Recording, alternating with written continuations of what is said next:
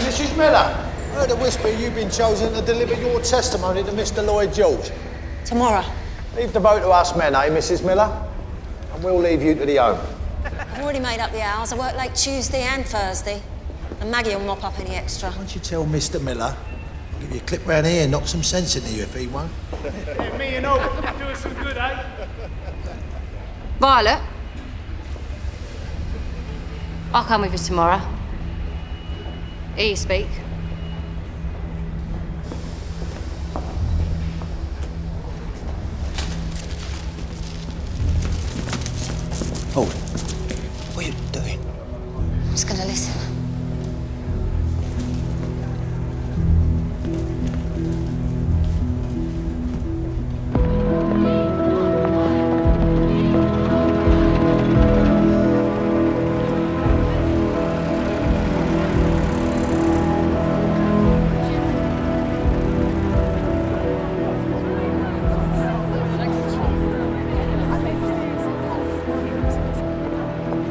Violet. Where were you? We waited and waited. Violet. It's nothing, I'm all right. Mrs. Alden's inside. Well, come on then.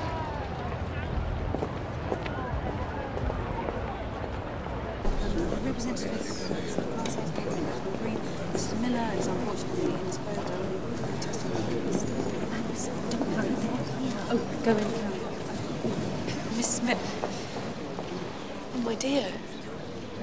Glasshouse Laundry next.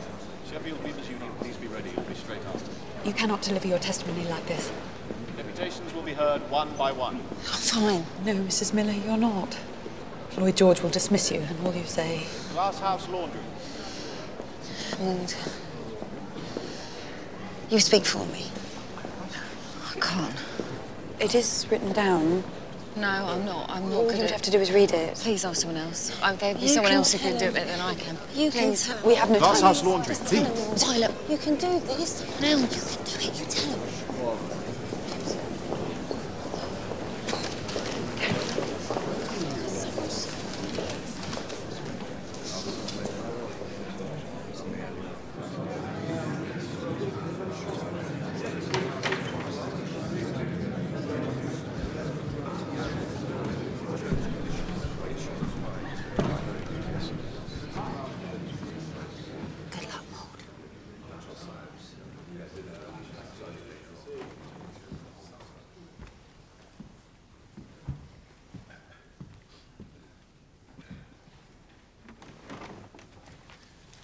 Shall you begin, Mrs. Miller? Watts. It's Mrs. Watts. So, Mrs. Miller isn't labelled. I have her testimony. You work at the Glass House Laundry in Bethnal Green, too? I was born there. Then I should like to hear your testimony.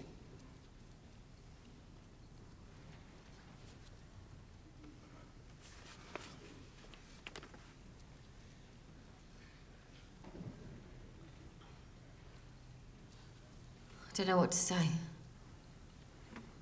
Your mother worked at the laundry?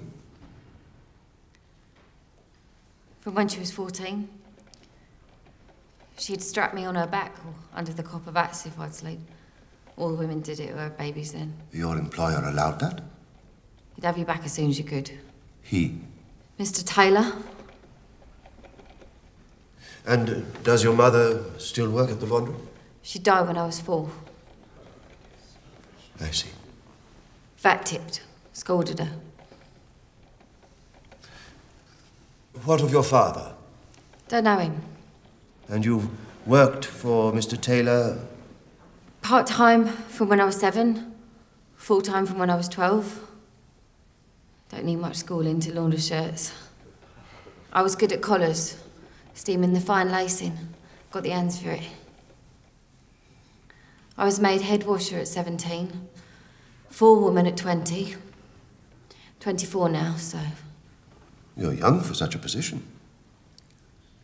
Lord, you work's a short life if you're a woman. And why is that? You get your aches and your chest cough.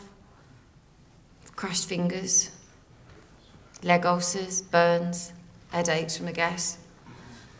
We had one girl last year poisoned, got work again, ruined her lungs. And your pay?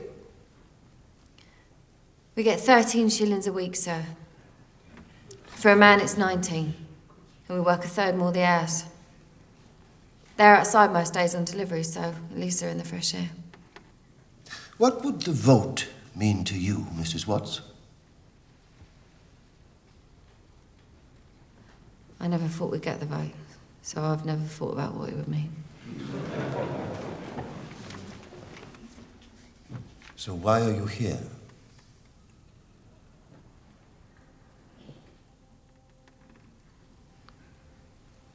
The thought that we might. That this life. That there's another way of living this life.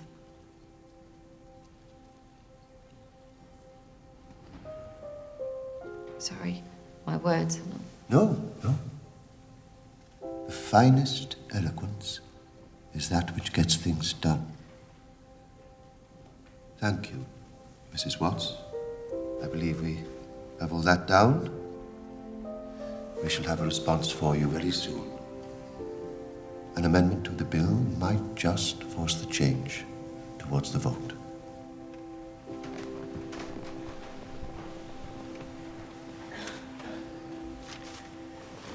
Thank you, sir.